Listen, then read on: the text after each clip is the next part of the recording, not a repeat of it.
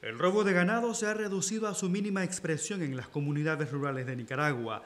La semana pasada fueron capturados dos sujetos imputados por este delito.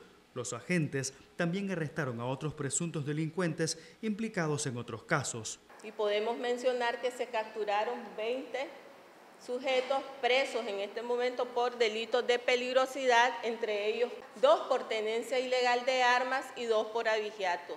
En cuanto a las evidencias encontradas ocupadas, tenemos 12 movientes, un vehículo, una motocicleta, 8 armas de fuego. Los operativos en el campo permiten a los productores desarrollar sus labores agropecuarias en un ambiente de seguridad y paz, un hecho que además incide positivamente en el crecimiento sostenido de la producción nacional. Realizamos 102 asambleas con 3.357 productores 1.051 coberturas de seguridad a 23 rubros de producción, se inspeccionaron 918 camiones con 15.131 semovientes y 172 visitas de verificación a los mataderos y rastros municipales. Las autoridades indicaron que fortalecerán las visitas a las fincas y viviendas, así como el resguardo a las actividades agropecuarias.